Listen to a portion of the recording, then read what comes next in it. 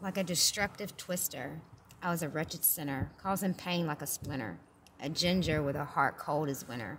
Walls up, no love could enter. Given the middle finger, sitting by that river, I started to shiver. God did it bigger. My soul was bitter. I heard that quiet whisper. I miss her. Make me the sinner. Follow me like Twitter, and I'll make you a winner with a flow that's killer. Now that I'm saved, haters trying to grill me like I'm dinner. They forgot I'm not, I'm not a beginner, but rather a finisher, a new creature. God's representer, no longer a tormentor, I surrendered. Now, like Paul, a gospel defender, a truth mentor, gave me a righteous temper. I am my only contender. To the body of Christ, I became a member. I'm in awe over the Lord's splendor. He truly is a forgiver.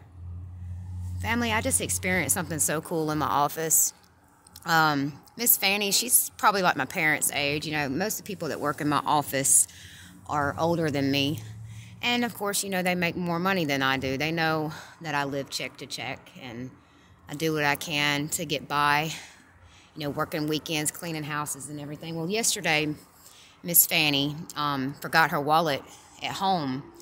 And I had a few pieces of extra bread. You know, sometimes I'll bring bread in. If, um, if I don't have leftovers from dinner, I'll make me a peanut butter and jelly sandwich for lunch or make some toast, you know, whatever.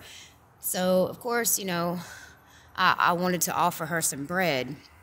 So I asked her, and she said, No, I got my lunch. I just forgot my, my wallet, you know, and thank you. And just a few minutes ago, she came up to me again and she said, Melissa, I just wanted you to know how much I appreciate you. She said, I was telling my husband that, um, you know, the one with the least amount of money and the one that doesn't have as much was the one to offer me food yesterday. And she, and her eyes, kind of teared up and and I gave her a hug and I told her I loved her. You know, that's what we do. We look out for one another. You know, and let me remind you, this is this one of the one of the women that um, a few months back I had it out with.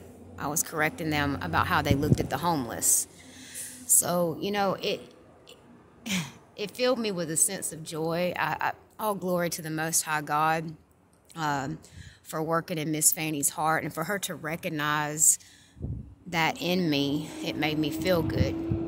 So when you start to doubt yourself and your walk with Christ, you know, God has a way of uh, confirming to you that you're on the right path and that um, the things that you are doing are being recognized.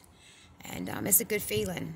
So don't be discouraged. You know, um, I, I, it's easy for me to say because I do get discouraged, I do get weary, but the Lord always lifts us up. You know, He knows how to to send people our way to encourage us and to let us know, hey, thank you. Thank you for what you're doing. Um, and what Miss Fanny just did earlier just really meant the world to me. Um, it just shows me how God works in people and how He can He can change their way of thinking and how He can change their hearts to how they can look at someone as being themselves. You know, that we're not looking at each other for race or for color or for one that has less than one another or looking down on one another. You know, iron sharpens iron. We're supposed to lift each other up. So that brought me a lot of joy today. So all praises to the Most High for that. Guys, I hope y'all have a blessed day. Smile.